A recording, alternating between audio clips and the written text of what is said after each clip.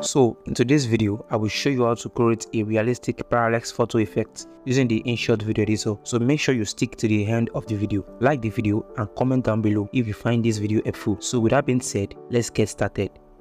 Create a new video with your main photo. Drag the photo down a little bit.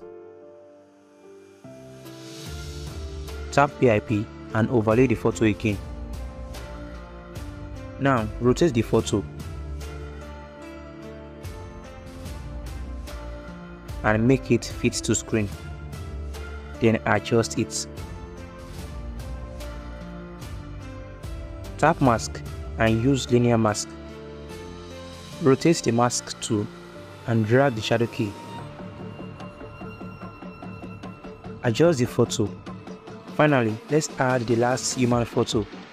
Go to sticker Use cutout to remove the background of our new photo.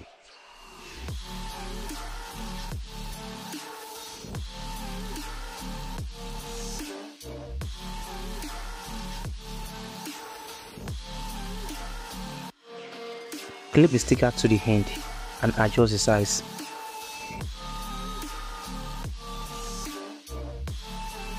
Done. Let's see the final results.